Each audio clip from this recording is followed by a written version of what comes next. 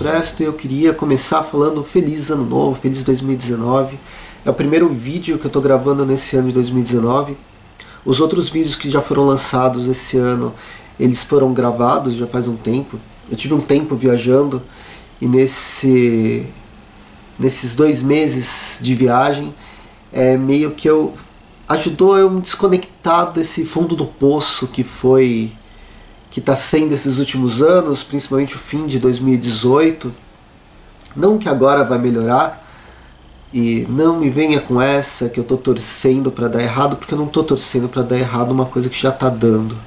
Eu só estou querendo criar esperança para uma para que alguma coisa melhore. Mas enfim, o que eu quero trazer é que nos próximos nesse próximo ano eu mude um pouco a dinâmica do canal. Ele vai continuar sendo um programa de resenha. Eu não consigo falar pouco, então ele vai ter ele vai se estender mais de 10 minutos na maioria dos vídeos. Mas eu vinha com uma certa periodicidade que vai continuar de terça, quinta, sábado e domingos alternados mas onde eu colocava terça-feira sempre tinha alguma coisa da DC, quinta-feira sempre tinha alguma coisa da Marvel e no sábado normalmente eu colocava alguma coisa da da Bonelli ultimamente nesses últimos seis meses, mas de vez em quando alguma coisa um pouco diferente. De domingo nesses sempre eu trazia ou quadrinhos nacionais, esses eu quero continuar.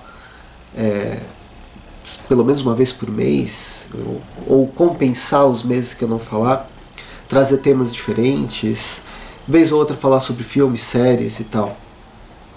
O ponto é que é, essa periodicidade da Marvel, DC e Bonelli, eu acho que eu vou modificar um pouco. Não vai ser periódico, não vai ser certinho, cada dia vai ser um. Principalmente porque a Panini ela resolveu aumentar os preços das suas revistas exorbitantemente. Eu tive viajando sim, mas eu acompanhei como todo mundo pela internet o que está acontecendo. Respondia, conversava com o pessoal nos comentários sobre os vídeos que eu, tava, que eu tinha postado. E é engraçado que alguns vídeos calhavam é, perfeitamente sem um planejamento é, sério para porque o tal vídeo foi naquele dia. Mas durante esses, esses meses, esse último, esses últimos 15 dias, a gente teve a notícia de uma modificação no preço de alguns encadernados de banca. Um dos principais é o encadernado da Thor, que deveria vir para a banca por 20, 20 e poucos reais e está sendo anunciado por R$ 39,90, inclusive com uma remarcação bem porca e bem óbvia, mostrando que aquilo foi repensado depois de ter sido, depois da edição ter sido pronta. Né? Então, a gente tem um preço adesivado. Eu ainda não comprei, eu quero comprar, eu quero essa, essa história do Thor, mas eu só vou comprar quando vier num preço bem acessível, de 20 reais para baixo.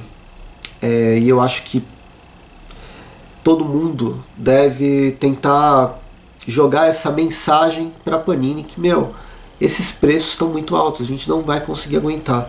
O problema é que depois também eles vêm com a desculpa, ah, a gente não vendeu, então começou a cancelar um monte de revista. Em que, em que posicionamento a gente fica? Esse vídeo é para falar um pouco sobre o que eu vou falar durante, durante o ano e para jogar essas perguntas. Esses preços abusivos que estão acontecendo nos quadrinhos, claro que eles são reflexo de toda uma conjuntura política e econômica que, a gente está vivendo. Mas é, o aumento ele ele está sendo é, condizente com a realidade ou ele está muito acima do, do que a gente está do que a gente está vivendo, é, não sei. O que, que eles estão querendo informar com esses aumentos? Bem, é só uma, um questionamento que eu queria levantar para a gente pensar bem no que vai comprar. E nesse, nesse vídeo, para falar do que eu vou falar, do que eu quero comentar, resenhar nos próximos, nos próximos meses, pelo menos nesse próximo ano, é justamente isso. Os quadrinhos eles estão eles estão sofrendo aumentos muito altos.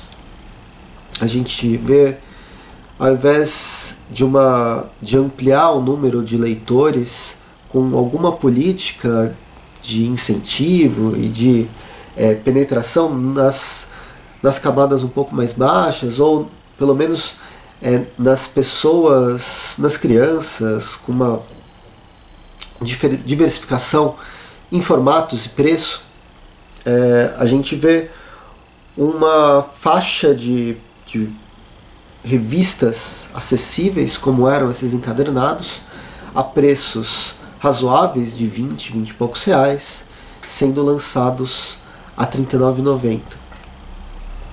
E é uma política que não está muito certa, a gente não sabe bem o que está acontecendo, é um período de transição. Então, esse período de transição de preço é bom dar um recado para Panini. Os leitores um recado não comprando. Porque ao mesmo tempo a gente vê num pré-lançamento de Venom que tem mais ou menos o mesmo número de páginas a R$16,90.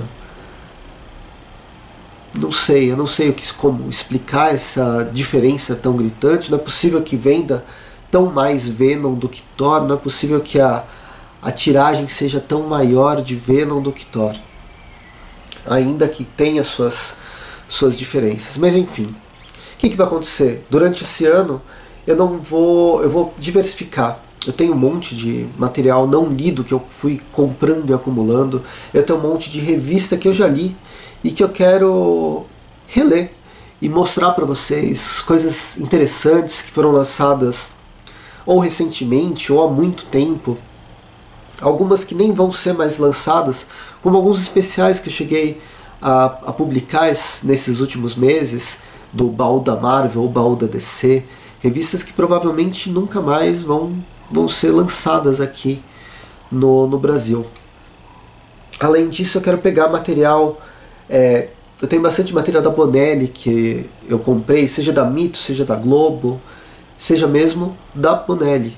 Algumas edições especiais que eu consegui nessas últimas férias. Tem é, material do Hellboy. O Hellboy é um personagem que eu gosto bastante, que eu li quando ele saiu em banca ainda pela Mitos, lá nos anos de. no final dos anos 90. E depois ele foi sendo relançado, relançado naquelas edições de luxo, mas que ele ainda existe, ele ainda faz, faz sucesso. E, e outras revistas de outros países, é, mais coisa da Argentina, como eu trouxe Morte Cinder ano passado, e de outros lugares, da Espanha. Bem, durante a viagem eu consegui uma gripe também. É, enfim, eu quero trazer, diversificar mais o canal, mesmo sabendo que provavelmente isso não vai trazer tanto tanta visualização. Eu não vou estar falando de material que está saindo em banca. Eu vou falar também, mas eu não vou falar só sobre isso. Inclusive eu quero falar sobre algumas algumas revistas e minisséries que já era para eu ter comentado nos últimos, nos últimos meses, mas que infelizmente compras é, digitais feitas pela Saraiva, feitas pela própria loja da Panini, atrasaram um monte e é, são coisas que chegaram a atrasar mais de dois, três, quatro meses. Tem um material da Saraiva que eu tive até que cancelar e depois comprar em outra loja. E coisas da Panini que eu comprei no Black Friday e foi chegar uh, no começo, no, logo depois, acho que no dia 3 ou 4 de janeiro. Então vão vir uh, aquela a minissérie do da DC que agora eu já até esqueci o nome, que faltava os três últimos as três últimas edições, né? A série, minissérie Metal e outras revistas como as, a, o crossover do, da Liga da Justiça, né, da DC com a Turma da Mônica e outras coisas. Mas enfim, é, vão ser coisas, vão ser comentários pontuais, além de comentários sobre filmes. Quero ver o Aranha Verso agora, semana que vem, eu já faço um vídeo. Quero ver outros filmes que estão sendo anunciados para esse ano. A gente tem a Capitã Marvel, a gente tem o, o Vingadores, uh, Shazam e Hellboy, que eu tô meio com muito pé atrás nesse novo filme. E séries, talvez eu fale de algumas séries, talvez eu fale de outros filmes que eu goste, é, eu venho comentar aqui. Enfim, o lance é: a gente está começando um ano novo, 2019, com algumas mudanças, perder essa periodicidade, trazer um material diferente. E comentem aqui o que, que vocês acham disso, é, o que, que vocês querem ver no canal. Tem várias coisas que eu prometi falar que eu ainda não, não comentei, nem cheguei a ler, sobre o Elric, por exemplo. Eu tenho o encadernado lá que foi lançado pela Mitos também, não lembro se foi ano passado ano retrasado, é, mas aquele material que foi lançado pela editora Abril, acho que foi a editora Abril, que estava perdido no meio da minha coleção, eu já recuperei ele, eu só preciso ler os dois para fazer um vídeo. É, tem coisas também sobre o Tex que eu vou atrás ainda vários, várias indicações de techs que eu ainda preciso procurar no, em sebos para depois vir comentar e outras revistas, bem, várias. Eu só estou me prolongando, mas o lance é esse. Comentem aqui o que vocês querem ver no canal. A gente vai, a gente vai deixando o canal mais com essa proximidade que a gente sempre teve de conversa, uh, conversa aberta nos comentários. Espero que tenham gostado do vídeo, espero que tenham passado um bom ano e que o próximo, que esse ano de 2019 seja bem legal, com vários quadrinhos, ótimas adaptações, tanto no cinema quanto na televisão. O ótimo vem aí, vamos ver o que, que, que vai vir disso. E é isso. Até mais e um bom ano novo.